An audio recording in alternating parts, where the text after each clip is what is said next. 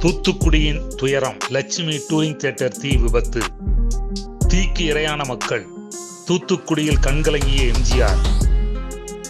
நேரடி சாட்சிகளின் வாக்குமூலம் அது டூரிங் டாக்ஸு தார்பாயை போட்டிருந்ததுனால ஒன்றும் வெளியே வர்றதுக்கு மக்களுக்கு முடியல. உயிருக்கு ப- அதாவது மானத்துக்கு அஞ்சு உயிரோட தீக்குள்ள வந்து விழுந்த பிள்ளைகள்லாம் நிறையா நாங்கள் கண்ணால் பார்த்தோம் கூப்பிட்டோம். வர மாட்டேன்ட்டு ட்ரெஸ்ஸு கிடையாது. அந்த பகுதி மக்களுக்கு கொஞ்ச நாளைக்கு அந்த அலறல் சத்தம் கேட்டதாக சொன்னாங்க. நான் அதை கேட்கல. தூத்துக்குடி லட்சுமி தேட்ட பட்ட பக டிவி வத்தை பாடுகிறேன் கேளும். அதன் பாதாரதை பாரும்.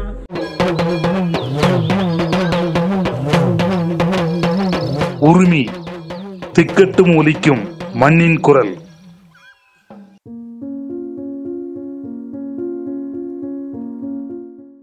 தூத்துக்குடி திரேஸ்புரம் கடற்கரையின் அருகே அமைந்துள்ளது லூர்தம்மாள்புரம் தமிழ்நாடு அரசின் காமராசர் அமைச்சரவையில் லூர்தம்மாள் சைமன் அமைச்சராக இருக்கும்போது கடலையே நம்பியிருக்கும் தூத்துக்குடி மக்களுக்கு அரசு வழங்கிய இடம் என்பதால் அந்த பகுதிக்கு லூர்தம்மாள்புரம் என்று பெயர் வைத்தனர். அந்த லூர்தம்மாள்புரத்தில்தான் லட்சுமி டூரிங் டாக்கீஸ் செயல்பட்டு வந்தது. டூரிங் டாக்ஸுன்னா வந்து நமக்கு ஓலை தென்னங்கிடுகு வச்சு மேய்ஞ்சு இருப்பாங்க. சுற்றி வர வந்து சுவர்லாம் இருக்காது. வெறும் தார்பாய் மட்டும்தான் போட்டு அடைச்சி வச்சுருப்பாங்க. ஒரே பெஞ்சு மட்டும் ஒரு மற்ற பூரா மண்ணு தான் கொஞ்சம் கூட பெஞ்சு இருக்கும். ஒரு ஒரு ப- பெஞ்சு டிக்கெட்டுன்னு சொல்லுவாங்க பார்த்தீங்களா அப்போ அது எழுபத்தஞ்சி பைசான்னு நினைக்கிறேன். இது வந்து இருபத்தஞ்சி பைசா தரை. அப்போ இருபத்தஞ்சி பைசாவில் தான் எல்லா மக்கள் பூரா மண்ணில் உட்காந்துருக்கும் தரையில் உட்காந்துருப்பாங்க ஞாயிற்றுக்கிழமையானால் தென் கொட்டாய்களில் திரைப்படம் பார்ப்பதுதான் அன்றைய மக்களின் ஒரே பொழுதுபோக்காக இருந்தது. இந்த ஏரியா பொறுத்தவரை எம்ஜிஆர் சிவாஜி இந்த ரெண்டு படம் தான். அப்போ இவங்க மற்றவங்க இப்போ இருக்கிறவங்க இதெல்லாம் கிடையாதுல்ல அவங்களுக்கு. வாரந்தோறும் எம்ஜிஆர் படம் சிவாஜி படம். ரெண்டு படம் தான் ஓடும். டெய்லி இருக்கும் சனி ஞாயிறு வந்து மூணு ஷோ.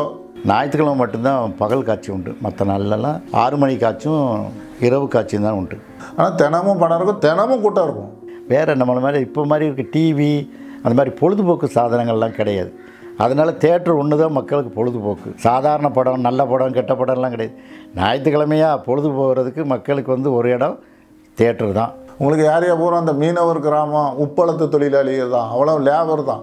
ஆயிரத்தி தொள்ளாயிரத்தி எழுபத்தி ஒன்பதாம் ஆண்டு ஜூலை இருபத்தி ஒன்பதாம் நாள் மதியம் இரண்டு முப்பது மணிக்கு மேட்னி ஷோவிற்காக லட்சுமி தியேட்டரை நாடி வந்தனர்.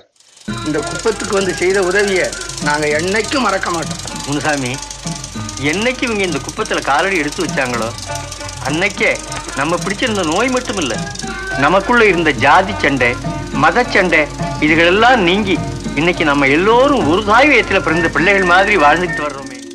தேட்டரில் ஓடிக்கிட்டு இருந்த படம் வந்து சிவாஜி கணேசன் ஜெமினி கணேசன் தேவிகா சாவித்திரி நடித்த பாவ மன்னிப்பு. ரொம்ப புகழ்பெற்ற படம் அந்த காலத்தில். அதனால தான் கூட்டம் அதிகம். அந்த தேட்டரில் ஒரு சீன் வரும். சிவாஜி மேலே அந்த நடிகர்த்தில் நடி எம்ஆர் ராதா வந்து ஒரு தீயை வைக்கிற மாதிரி ஒரு சீன் வரும். அந்த சீன் வரும்போது தே தீ ஓ தீ பிடிக்கும். அப்போ வந்து மக்கள் என்ன நினைப்பாங்கன்னா தேட்டரில் தீ பிடிக்கல அந்த படத்தில் சீனில் தான் தீ பிடிச்சுன்னு சொல்லி நினச்சிட்டாங்க.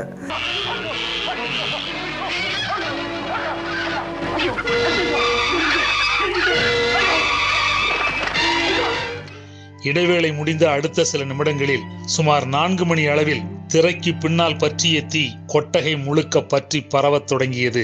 ஆனால் யதார்த்தமாக தேட்டரில் அப்போ படபடான்னு எரிஞ்ச உடனே வெக்க அடிச்சதுக்கப்புறம் தான் மக்கள் வெளியே வராங்க வெளியே வர முடியலை. அரங்கம் நிறைந்த மக்கள் கூட்டம் செய்வதறியாது திகைத்த மக்கள் தீயின் வேகத்திற்கு ஈடு கொடுக்க முடியாமல் தப்பி பிழைக்க ஓடினார்கள். பெண்கள் குழந்தைகளால் எளிதாக தப்பிக்க முடியவில்லை.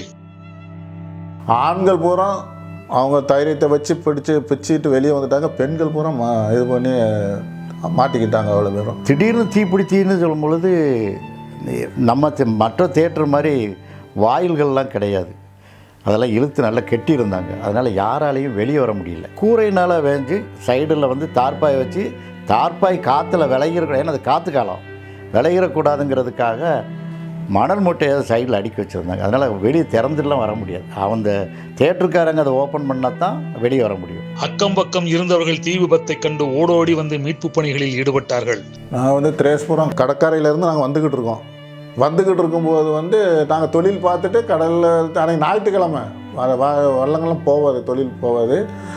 அந்த வேலைகள் நாளைக்கு மறுநாள் போகிறவங்கள வேலைகள் பார்த்துட்டு நாங்கள் வந்துக்கிட்டு இருக்கும்போது ஒரே புகை மண்டலமாக இருக்குது லூர்தம்மாள்புரத்தில் இருந்து தான் புகை மண்டலம் தெரியுது. தெரிஞ்சோன்னே அவ்வளோ குடிசை வீடுகள் அந்த நேரத்தில். அப்போ கு- அந்த குடிசை வீடுகள்லாம் தீப்பிடிக்க போகலன்ட்டா நாங்கள் அவ்வளோ பேரும் கடற்கரையிலேருந்து ஓடி வரோம். ஓடி வந்து வரும்போது அது கடைசியில் வீடுகள்லாம் இல்லை தேட்டரு தான் தீப்பிடிச்சு எரிஞ்சிக்கிட்டு இருக்குன்னு தான் நாங்கள் அந்த நேரத்தில் வந்து அவ்வளோ இதையும் பண்ணுறோம் உள்ளே தீப்பிடிச்சு எறியும் போது இங்கேருந்து தள்ளி பார்க்குறாங்க. முடியல. ஒருத்தர் ஒருத்தர் மோதி ஒருத்தர் மேலே விழுந்தாங்க. அதே சமயத்தில் மேலே உள்ள கீத்து கொட்டை அது. தீப்பிடிச்சு அப்படியே விழுந்துட்டு ஆனால் அதற்குள் பலர் கொடூர தீக்கு இரையாகி விட்டனர். டூரிங் தேட்டர் என்பதால் மக்கள் எங்கேயும் ஓட முடியல. பாதி பேர் வெளியே வரணும்னு நினைக்கிறாங்க. ஆனால் துணி கருகி போச்சு. துணி இல்லாமல் வெளியே வர்றதுக்கு அவங்களால மனம் இடம் தரல. திரும்பவும் அந்த தீயிலேயே போய் விழுந்துட்டாங்க. உயிருக்கு அதாவது மானத்துக்கு அஞ்சு உயிரோட தீக்குள்ளே வந்து விழுந்த பிள்ளைகள்லாம் நிறைய நாங்கள் கண்ணால் பார்த்தோம் கூப்பிட்டோம் வர மாட்டேன்ட்டு ட்ரெஸ்ஸு கிடையாது. நிர்வாணமாக இருக்கும்போது வந்து அந்த பெண்ணுகள் வந்த வர்றதுக்கு இதோடு நம்ம இறந்துடலாம் அப்படின்னு சொல்லி தீக்கில் வந்து அப்படி இறந்த பெண்களும் நிறையா ஒரு அதே ஒரு குறிப்பிட்ட ஒரு நாளில் ஒரு சதவீதமாக அப்படி இருக்கும். அந்த பிள்ளைகள் வந்துட்டு வந்துட்டு ஆண் ஆட்கள் இருக்கிற பார்த்தியம்மா வாங்க வாங்க நீங்கள் ஒன்றும் நினைக்காதுன்னு இல்லை அப்படின்னு சொல்லி அப்படி தீக்கில போய் விழுந்து இறந்ததெல்லாம் நாங்கள் கண்ணால் பார்த்தோம். மான துணி இல்லையே எப்படி வெளியே வர்றது அப்படின்னு சொல்லிட்டு அந்த மறுபடியும் அந்த தீயிலேயே விழுந்து சில கர்ப்பிணி பெண்கள் வந்து உய அறகுறை உயிரோட வெளியே ஓடி வந்தார்கள். சில இளம் குழந்தைகள் பச்சிளம் குழந்தைகளும் ஓடி வந்தன. நான் கூட பிள்ளைகளை கையை பிடிச்சி இழுக்கும்போது அந்த தொழிலாம் கையோட அப்படியே எங்களுக்கு கையில் வந்திருந்தேன் சில நிமிடங்களில் திரையரங்கம் சாம்பலானது. அதுவும் அந்த நேரத்தில் யார் காப்பாற்றுறது என்ன செய்யணும்னு தெரியாம மக்கள் பூரா எந்த வாகனம் வருதோ அதிலெல்லாம் பாதி வெந்திருக்கு பாதி இருக்குது அவங்களிடம் அவங்க போடுற கூச்சலுக்கு அந்த அலறல்லாம் நம்மளால் காதில் இன்றைக்கும் எதிரொலிக்கு. ரோட்டு ஊடி கொண்டு போகிறாங்க தூத்துக்குடியே அன்றைக்கி அல எல்லாருமே அழுதுருப்பாங்க அன்றைக்கி அதை காட்சிகளை பார்க்கும் பொழுது ஏன்னா ஒரு இடத்துல நடந்தது ஊரெல்லாம் தெரிஞ்ச மாதிரி வாகனத்தில் தான் தூக்கிட்டு போகிறாங்க லாரியில் தூக்கிட்டு போகிறாங்க ரிச்சா வண்டியில் தூக்கிட்டு போகிறாங்க வேறு வாகனங்கள்லாம் ஆட்டோலாம் கிடையாது அப்போ. அவங்கவுங்க தூக்கி தூக்கி தூக்கி தூக்கி அந்த உயிர்களை கொண்டு போய் பாதுகாக்கணும் தான் கொண்டு போனாங்க மக்கள் சேவையெல்லாம். பயங்கரமான ஒரு இது. தூக்கி போட்டு அவ்வளோ கறி கத்துறாங்க. ஓ அவ- அம்மா அம்மா அவனு கத்துறாங்க. ரோடெல்லாம் எல்லாரும் அம்மா அம்மாங்க. ரிக்ஷா வண்டியில் பார்த்தா ஆள் கத்துது. அவங்க பிடிக்கிறதுக்கு ஒரு உட்காந்துருக்கு அது யாருன்னே தெரியாது. சொந்தக்காரனே கிடையாது. பிடிச்சிக்கிட்டு இருக்காங்க. அவன் கத்துறான். ரிக்ஷா வண்டிக்காரன் எல்லா வண்டிகளும் இங்கேருந்து போய் அவ்வளோ ஆட்களையும் இருக்கிற ஆட்கள். கா- லாரி வந்த லாரியெல்லாம் மடக்கி அதில் போட்டு ரொம்ப அல்லோலப்பட்டு வச்சு அன்னைக்கு. ஊரே கூடிட்டு. ஊரே கூடி தான் வந்து இது பண்ண. மக்களுக்கு என்ன தெரியல சிலர் வந்து வண்டி இல்லாமல் சிலர் அந்த இடத்துல துடிச்சிக்கிட்டு வாகனங்கள் அவ்வளவு ஃபயர் சர்வீஸ்லாம் வரதுக்கு முன்னால் இவ்வளவு நடந்துச்சு. ஃபயர் சர்வீஸ்லாம் நிறைய வண்டியெல்லாம் வந்து அப்போ வந்து இந்த மாதிரி நாகரிகம் கிடையாது பார்த்தீங்களா முடிஞ்ச அளவுக்கு தூத்துக்குடியில் உள்ள வச்ச வண்டியை வச்சு இருந்தால் ரொம்ப போராட்டம். போராட்டம். மக்களும் நிறையா மண்ணை அள்ளி அள்ளி அள்ளி அள்ளி வீசி இது பண்ணி ஃபயர் சர்வீஸுக்காரங்க அவங்க வேலையை செஞ்சாங்கன்னா அவங்கலேருந்து ஒரு மூணு மடங்கு நாலு மடங்கு இருப்பாங்க மக்கள் செஞ்சுருப்பாங்க.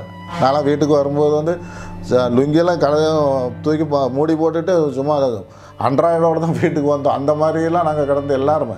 பக்கத்தில் பார்த்தீங்களா எங்களுக்கு தெருவுக்கு இல்லை லூர்தம்மாள் புறத்துக்குள்ள தான் தேட்டரு. அதனால் தெரு மக்களும் எல்லோரும் ஒருத்தருக்கு ஒருத்தர் எல்லாம் நல்லா உதவி செஞ்சாங்க எல்லோரும்.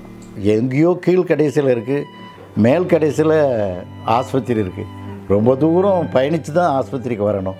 தலவால இலை விரித்து ஜனங்களைத்தான் கிடத்தி வைத்து தலவால இலை விரித்து ஜனங்களைத்தான் கிடத்தி வைத்து சர்க்காரி வேணிலேறி டாக்டரிடம் மாசராக சர்க்காரி வேணிலேறி டாக்டரிடம் மாசராக ஆஸ்பத்திரிக்கு போக அவள் ஆயில் என்ன ஆச்சோ? நாங்கள் நின்று பார்த்துட்டு திடீர்னு சத்தம் கேட்க பார்க்குறோம். எங்கேருந்து வரணும்? தொடர்ச்சி சத்தம் வருது. எங்களால் அதை ஜீர்ணிக்கவே முடியல. நாங்கள் ஒரு ஒரு அஞ்சாறு ஆசிரியர் நின்று பேசிக்கிட்டு இருக்கோம். சாயந்தரம் நாலரை மணிக்கு அப்புறம் எல்லாரும் இந்த ஆஸ்பத்திரிக்கு ஓடினாங்க. ஆஸ்பத்திரியில் பார்த்தீங்கன்னா கூட்டம் அதிகம்.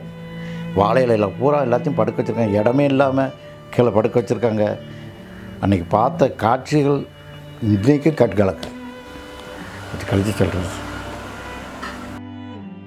தியேட்டரில் டிக்கெட் எடுத்தவர்களின் கணக்குப்படி உள்ளே நானூத்தி ஐம்பது பேர் இருந்திருக்கலாம். நாற்பத்தாறு பெரியவர்கள் முப்பத்தி ரெண்டு குழந்தைகள் என எழுபத்தி மூணு பேர் நிகழ்விடத்திலேயே பரிதாபமாக உயிரிழந்து விட்டனர் சிலர் மருத்துவமனையில் சேர்க்கப்பட்டு சிகிச்சை பலனின்றி உயிரிழந்தனர். உயிரிழந்த நூத்தி பதினைந்து பேர் குடும்பத்திற்கும் பலத்த தீக்காயங்களுடன் மீட்கப்பட்டு உயிருக்கு போராடிய எண்பத்தாறு குடும்பங்களுக்கும் அன்றைய தமிழ்நாடு முதலமைச்சர் எம் ஜி ராமச்சந்திரன் நிவாரண உதவிகளை அறிவித்தார். நூற்றி பத்து பேர் சொன்னாங்க அதுக்கு பின்னால் எத்தனை பேர் இறந்தாங்கிறதுலாம் நமக்கு தெரியல. அந்த விபத்தில் பாதிக்கப்பட்ட ஏராளமான உடல் ஊனமுற்றவர்களாக இருந்து தற்போது அகால மரணம் அடைந்து விட்டார்கள். இன்னும் அது இன்னும் அதில் பாதிக்கப்பட்ட மக்கள் இன்னும் அந்த லூர்தமால்புரத்தில் இருக்கிறாங்க. நான் கூட கேள்விப்பட்டிருக்கேன் நிறைய உயிரோட இருக்காங்க. ஒரு பாட்டி பங்க ரெண்டு கால் இல்லை. அவங்களுக்கு வந்து ரெண்டு காலும் செயல்பாடு கிடையாது அந்த அம்மாவுக்கு. அவங்களுக்கு வந்து உடம்புலாம் வந்து இது பண்ணியிருக்கேன் படம் ஓடிட்டே இருந்துச்சியா இன்டர்வலுக்கு பிறகு என் நெருப்பு தண்ணியை ஊற்றுவாங்க நெருப்பு தண்ணி ஊற்றுவாங்க ஏன்னா நான் படமாக்கும் எனக்கு தெரியாது. இந்த பாட்டு கட்டி தான் போகாம பார்த்துங்க. அந்த எல்லோரும் உட்காருங்க உட்காருங்க. அந்த பின்னாடி அப்படியே தீ- தீ பிடிச்சிருக்கு. நான் எனக்கு வயிற்றுல ஏழு மாதம் எந்திக்க முடியாமல் எங்கள் வீட்டுக்கு தீவனம் என்ன பெரிய போட்டார். இந்த கை கால் எல்லாம் இதுக்கு கீழே பாதம் இல்லை. இந்த உடம்பு பூரா வேவலை இந்த பக்கம் இந்த பக்கம் தான் எனக்கு மேலே பூரா தீ தான் தீ கூட போட்டு ஏழு மாதம் வயத்துல தீ கூட போட்டாங்க. அந்த டே எனக்கு தெரியாது. யார் தீ கூட போட்டேன்னு தெரியல.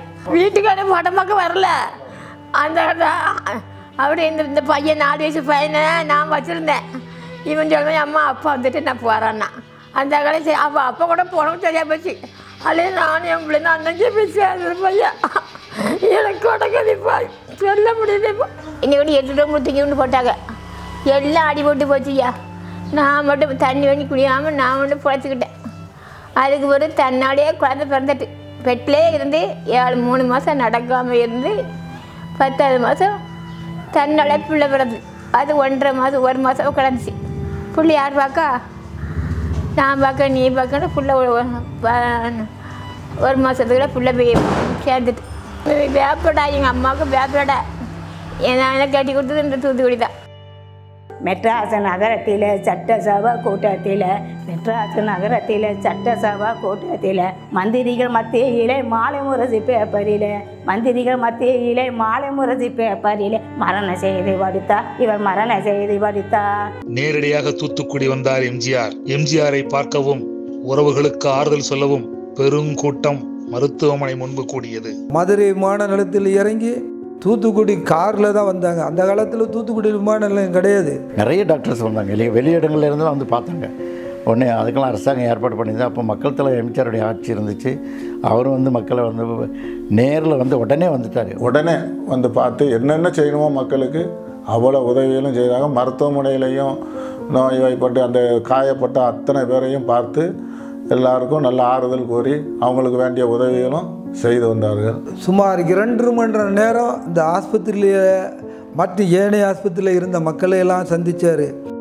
அன்றைய அதிமுகவின் பொதுச் செயலாளராகவும் அமைச்சராகவும் இருந்த பாவு சண்முகம் தூத்துக்குடி சட்டமன்ற உறுப்பினர் என் தனசேகரன் திருநெல்வேலி மாவட்ட ஆட்சித்தலைவர் செல்வராஜ் காவல் கண்காணிப்பாளர் அரசு மருத்துவமனை முதல்வர் உள்ளிட்டோர் எம்ஜிஆரிடம் விபத்து குறித்து விளக்கம் அளித்தனர் மருத்துவமனையின் துயரங்களை பார்த்து கண்கலங்கிய எம்ஜிஆரிடம் தீக்காயம் பட்டவர்கள் மீது ஈ மொய்ப்பதால் உடனடி தேவையாக கொசுவலை வேண்டுமென கோரிக்கை வைத்தார்கள். அந்த கோரிக்கை அதே இடத்தில் உடனடியாக நிறைவேற்றப்பட்டது. விபத்து ஏற்படும் போது ஒரு சா சாதாரண ரிக்ஷா தொழிலாளி பல்வேறு உயிர்களை காப்பாற்றிருக்காரு காப்பாற்ற போனார். சேசனசரன் அவர் பேர். அவர்லாம் பா ஆஸ்பத்திரியில் இருக்கும்போது எம்ஜிஆர் பார்த்த அவங்கள அவர்கிட்ட பேட்டி அவர்கிட்ட விசாரிக்கும் போது உள்ள படமே தலைப்புச் செய்தியிலே வந்துச்சு. அந்த கு உயிர்களை காப்பாற்றினால அன்றைய தினம் ஒரு நாளில் முன்னணி நாளில் வந்து அந்த ரிக்ஷாக்காரருக்கு ஒரு கைக்கடிகாரத்தை எம்ஜிஆர் அவர்கள் மூலம் வழங்கினாங்க. ஆஸ்பத்திரியில் வந்து வந்து இறங்கின உடனே நேர ஒவ்வொரு வார்டு அந்த அடிபட்டு ஆட்களை சேர்த்த வார்டு தீப்பட்டவங்க அவ்வளோத்தையும் அவ்வளோத்தையும் ஒவ்வொரு ஆளாக பார்த்தாரு. ஒரு ஆள் பாக்கி விடல. எத்தனை பேர் அதில் விபத்தில் இருந்தாங்களோ அந்த விபத்தில் உள்ள அத்தனை நபர்களையும் கையை காலை தொட்டு தொட்டு தொட்டு ஆறுதல் கூறினார். இதை எங்கள் கண்ணால் நாங்கள் எல்லாம் பார்த்து அவர் கண்ணீர் விட்டு அழுதது எங்கள் கண்ணால் பார்த்தோம். அந்த அளவுக்கு தூத்துக்குடி லட்சுமி தேட்டில் ஏற்பட்ட தீபத்தை பற்றி அதிகாரிகள் மாண்புமிகு தமிழக முதல்வர் எம்ஜிஆரிடம் விலைக்கு சொன்னபோது அதை அறிக்கையாக வெளியிட்டார். காயம்பட்டவர்களுக்கு முதற்கட்டமாக இரண்டாயிரம் ரூபாயும் பலத்த காயமென்றால் பத்தாயிரம் ரூபாயும் நிவாரண உதவிக்கு உத்தரவிடப்பட்டது. இவ்வளோ பெரிய கோர விபத்து ஏற்பட்ட பிறகு அந்த எந்த இடம்? அந்த இடத்துக்கு நான் சென்று உடனே அங்கே போய் அங்குள்ள பகுதி மக்களையும் சந்தித்து ஆறுதல் கூற வேண்டும் என்று எம்ஜிஆர் அவர்கள் ஆஸ்பத்திரியில் ரெண்டரை மணி நேரம் விசாரணைக்கு பிறகு விசாரணைகள் முடிந்த பின்பு மக்களை சந்தித்த பின்பு எம்ஜிஆர் அவர்கள் நேரடியாக லட்சுமி தேட்டரு சென்று அந்த பகுதியில் மக்களை சந்தித்தார். தீ விபத்து நிகழ்ந்து தரைமட்டமாகி சாம்பலான லட்சுமி டூரிங் டாக்கீஸ் இருந்த இடத்தையும் முதலமைச்சர் எம்ஜிஆர் பார்வையிட்டார். தூத்துக்குடி சட்டமன்ற உறுப்பினர் தனசேகரன் அதிகாரிகள் உடனிருந்தனர். சுற்று வட்டார பொதுமக்கள் பாதிப்புகளை எடுத்து கூறினர். என்னுடைய எங்கள் பள்ளிக்கூடத்தில் படித்த ஆறாப்பு மாணவன் முத்துக்குமார்னு ஒரு பையன். காய்கறி வியாபாரம்ன்றது அவங்க அம்மா. பையன் ஞாயிற்றுக்கிழமைங்கிறதுனால டூரிங் டேஸில் போய் படம் பார்க்கறதுக்காக அக்காவும் பையனும் போனாங்க.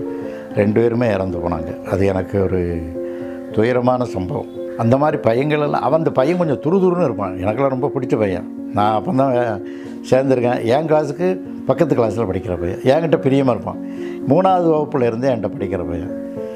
அதெல்லாம் நினைக்கும் பொழுது எனக்கு அந்த பையன்லாம் இறந்து போனாங்க. போதெல்லாம் பொதுவாகவே எந்த உயிரும் இந்த மாதிரி ஒரு இதில் வரும்போது கஷ்டம். விபத்து குறித்து அறிக்கை அளித்திட வழக்கம் போல் விசாரணை கமிஷன் அமைக்கப்பட்டது. லட்சுமி டாக்கீஸ் உரிமையாளர் ராஜாமணி என்கிற உருண்டையன் லட்சுமி டாக்கீஸில் லைசென்ஸ் உரிமையாளரும் ஆபரேட்டராகவும் இருந்த சீனிவாசன் ஆகியோர் கைது செய்யப்பட்டனர். ராஜாமணின்னு சொல்லி ஒரு ஆள் அவர் இறந்துட்டார் இப்போ.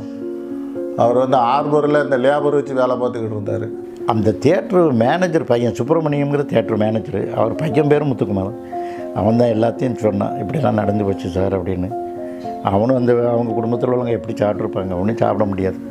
இப்போ அவங்கள அரெஸ்ட் பண்ணி உள்ளே கொண்டு போய் வச்சுருப்பாங்க போலீஸ்காரங்க. ஏன்னா தேட்டர் இல்லையா? அவங்களும் ரொம்ப சிரமப்பட்டு தான் வெளியே வந்தாங்க. ஆயிரத்தி தொள்ளாயிரத்தி எழுபத்தி ஒன்பதாம் ஆண்டு நடந்த தூத்துக்குடி லட்சுமி டூரிங் டாக்கீஸ் தீ விபத்திற்கு பின்னர் தமிழ்நாடு முழுவதும் கீற்று கொட்டகை டூரிங் டாக்கீஸ்கள் தடை செய்யப்பட்டன. ஆமாம் அதுக்கு பிறகு தான் டூரிங் டாக்ஸி இந்த சீட்டு போட்டு ஹாஸ்பிட்டல் சீட் போட்டு வைக்கணும்னு சொல்லி அதுக்கு பிறகு அந்த பக்கத்தில் ராஜேந்திரன் சொ ராஜேந்திர தேட்டர்னு ஒன்று வச்சுருந்தாங்க. அது ஒரு சின்ன தீ விபத்து தான். அது லேசாக இது பண்ணாமல் இதாகிட்டு அதுக்கு பிறகு இந்த டூரிங் டாக்ஸிகளே இல்லை. அதுக்கு பிறகு தான் அந்த முருகன் தேட்டர் கட்டினாங்க. அதுவும் இப்போ செயல்பாடு இல்லாமல் தான் இருக்குது தூத்துக்குடியில் வந்து இன்றைக்கி அந்த படம் வந்து ஓடி இவ்வளோ நாள் ஆச்சு ஏறக்குறைய நாற்பத்தி ரெண்டு வருஷம் ஆச்சு. அந்த தீபத்து ஏற்பட்டனால. ஆனால் தூத்துக்குடியில் மாவட்டத்தில் இந்த படம் இன்றைக்கு வரைக்கும் ஓடையே ஓடலை. அந்த பாவமணிப்பு படம் வந்து ஒரு அபசகனம்னு சொல்லி அந்த தேட்டருக்காரங்களை நினைக்காங்களோ இல்லது அந்த படத்தை வெளியிட்டால் தனக்கு ஒரு பெரிய தீங்கு ஏற்படுமோ என்று நினைத்தோ யாரும் இன்று வரை படத்தை வெளியிட முன்வரவில்லை. இதுக்கப்புறமேல் கும்பகோணம் இருக்குது அதில் தொண்ணூறு பிஞ்சு உள்ளங்கள். அது அதுக்கு முன்னால் ஸ்ரீரங்கத்தில் ஒரு கல்யாண பந்தல் தீப்பிடிச்சு எரிஞ்சு முக்கம் அதில் மணமகனே இறஞ்சு போகுது அப்புறமேலு ரா- தஞ்சாவூரில் ஒரு தீ விபத்து இருந்துச்சு. தீ விபத்துகள் தொடர்ந்து இருந்துக்கிட்டே தான் இருந்துச்சு. கொஞ்சம் எச்சரிக்கையாக மக்கள் இடத்துல இருக்கணும். பாதுகாப்பாக கொஞ்சம் உறுதிப்படுத்திட்டு செயல்படுத்தினா இந்த விபத்துகளை நம்மளே தடுத்துக்கிடலாம். ஆண்டுகள் பல கடந்து விட்டாலும் தூத்துக்குடி துயரத்தின் சோக நினைவுகள் வரலாற்றில் நிழலாடி கொண்டுதான் இருக்கின்றன.